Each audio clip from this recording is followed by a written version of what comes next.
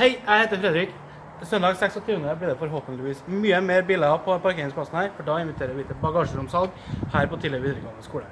Måten bagasjeromsalg fungerer på, er at du pakker biler dine full av ferdig pressa varer som du ikke vil ha lenger. Det kan være ting du ikke trenger, kan være ting du bare har lyst til å kvitte deg med. Kjem hit, selg det. Du trenger ikke ha med deg bil engang, bare ta med deg pledd eller et bord eller noe, sett deg og selg det på. Nå er det viktig at folk på Tiller kjenner besøkelsestida si. Dette er første gangen. Skal vi få det til flere ganger og få det til å bli større, så må folk stille opp.